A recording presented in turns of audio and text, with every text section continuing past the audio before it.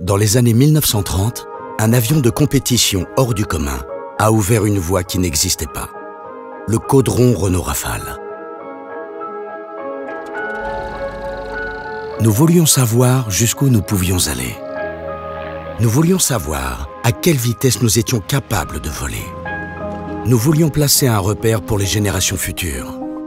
Une marque durable pour qu'elles puissent se rappeler qu'aucune performance ne peut être réalisée sans créativité. Une marque que les pilotes Hélène Boucher, Adrienne Bolland et Maris Bastier ont inscrite en volant plus vite, plus haut et plus loin que les standards de l'époque.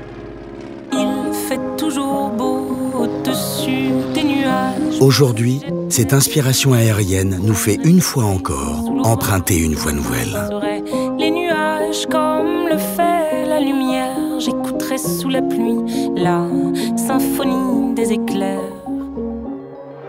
Il fait toujours beau au-dessus des nuages. Mais moi, si j'étais un oiseau, j'irais danser sous l'orage. Je traverserais les nuages comme le fait la lumière. J'écouterai sous la pluie la symphonie des éclairs. Renault Rafalitech 4x4 300 chevaux.